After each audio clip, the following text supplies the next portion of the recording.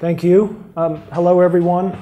I'm a statistical ecologist at a U.S. Geological Survey lab called Patuxent Wildlife Research Center. I'm going to talk about a class of models that I work on, these, these spatial capture recapture models, which have some applicability to certain problems in computational sustainability. Some were hit on by Angela Fuller, and then Amrita gave a poster and a talk yesterday. And Dana Morin has a poster, and she's going to give a two minute um, lightning talk. Um, and I'm talking more really about the modeling bits of this. Now, capture recapture is a class of models we deal a lot with in statistical ecology, and they have been the cornerstone of the empirical study of populations for many decades. The basic idea of capture recapture is we, we repeatedly sample a population. This might not be on. It's not advancing. The, uh, switch on the side. Uh, it's always the switch on the side. So, so did somebody pull the? Uh, this does not count against me, right?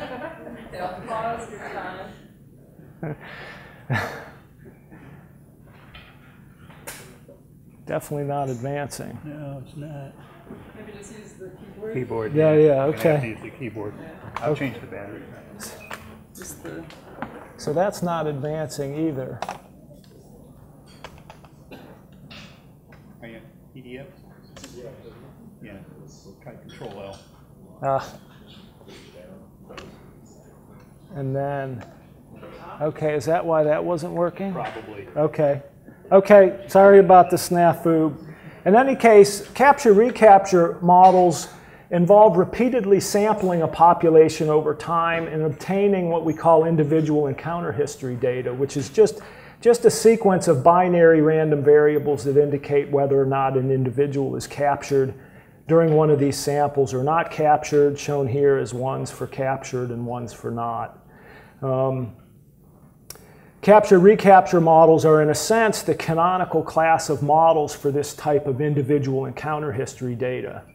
Um, and these capture recapture models involve parameters that describe both the population structure in the form of things like survival probability and population size, and also parameters that describe the observation process in the form of how um, the, the probability of encounter of individuals. Modeling the observation process is important uh, and when we sample animal populations because in real problems there's a portion of the population that is unobserved. And so in a sense, capture recapture models allow us to extrapolate information from the sample that we observe to the population that we care about as, as ecologists. Um, the use of capture recapture methods has really increased with the advent of new technologies for sampling populations, including non invasive methods based on, on genetics or camera trapping. These new technologies have profoundly affected the study of animal populations in two ways. First, we can study species that historically could not be studied effectively because they were difficult or impossible to capture and physically handle. Uh, being able to sample those species with non-invasive methods makes it possible to do population level studies of them. And the second thing that uh, has really been affected by these methods is that they produce abundant quantities of spatial data. One thing that, that has been spurred on by these new technologies is the advent and widespread adoption of capture recapture methods that use this abundant spatial information. And these are spatial capture recapture models, which I'll just call SCR for short. SCR is a methodological framework that combines a spatially explicit observation model describing how individuals are observed in space with a, a, statistical point process model that describes how individuals are distributed in space. And the goal of SCR models is to achieve statistical inferences about spatial structure of populations um, from observed encounters on a sample of individuals. And there are a couple other talks that are going on this week about um, spatial capture recapture models. The, the, the model for encounter probability depends on some parameters that we need to estimate, but also, and this is the key point, it usually takes the form of some function of Euclidean distance between sample locations and a latent variable that we interpret as a home range center, shown here as, as a Gaussian kernel model. So the, the latent variable is, is, the, uh, is the S in the distance metric there. And, and typically these kinds of stationary and isotropic models such as Gaussian kernels are used in practice. Because the home range centers are regarded as latent variables, uh, we, we require a model to account for their uncertain state. A natural model for the population of these latent variables is, is to assume them to be a realization of a statistical point process. For example, we could assume that, that they follow a homogeneous point process, the, the classical model of complete spatial randomness. Or we could build more ecologically interesting models, such as inhomogeneous point process models, where the local point density depends on some, some landscape or habitat covariate that's measurable. Shown here is a forest cover raster that might affect the locations of, of individuals in this population. Um, in a sense, I think SCR can be thought of as a statistical triangulator um, where we use Bayes' rule to combine information about spatial encounters with information um, that describes the distribution of individuals in space, um, to provide a characterization of where each individual in the population lives. I show two examples here on the right. These illustrate the propagation of uncertainty about the latent state from individual encounter histories and the variable precision of the information that is due both to the encounter information and the configuration of spatial sampling. So the top panel shows, shows a bear in this case that was captured a large number of times in a, in a few traps that are in close, close proximity, and it shows a very precise estimate of the home range center of that bear. And the example on the bottom shows an individual caught one time around the periphery of the trap array, and it shows a relatively diffuse posterior, not much information about where that bear lives. Um, and this idea extends to the population. Um, by using a spatial model that describes the distribution of individuals in space in the vicinity of, of the sampling, um, we can get spatially explicit estimates of density. Shown in this picture is an estimate of the posterior mean of the point process intensity function from the study of bears that happened in New York.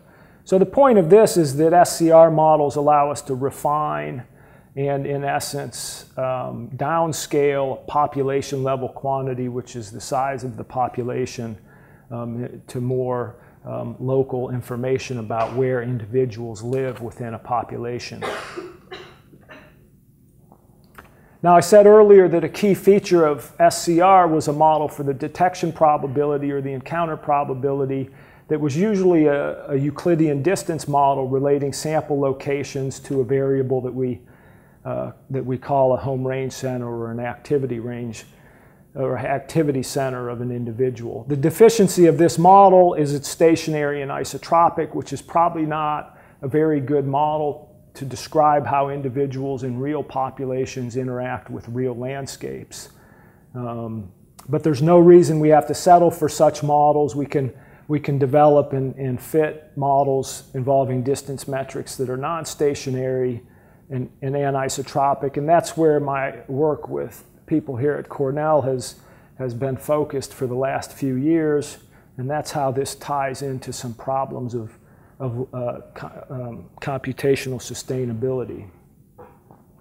Um, for example, we can choose a distance metrics that, metric that depends on least cost path, where cost is parameterized in terms of some measurable covariate that affects how individuals move, move through the landscape.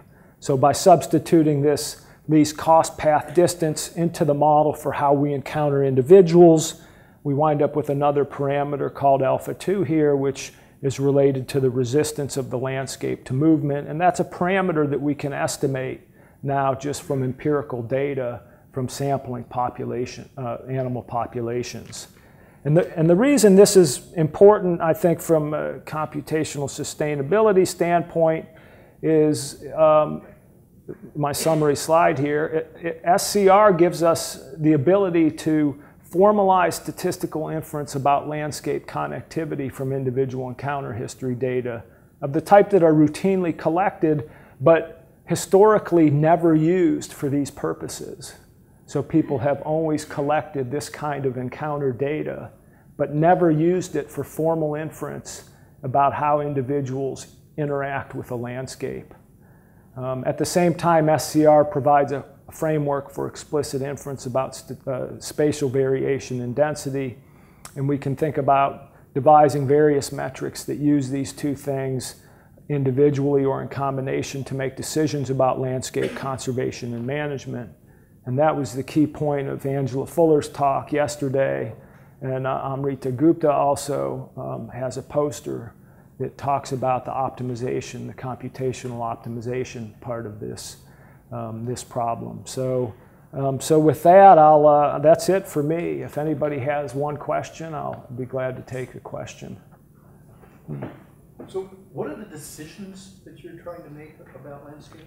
So, so you, the decisions, I guess you should go read Amrita's poster, but, but it has to do with conserving a parcel or not, or affecting the use of a parcel, and which, which parcels do you um, allocate money to.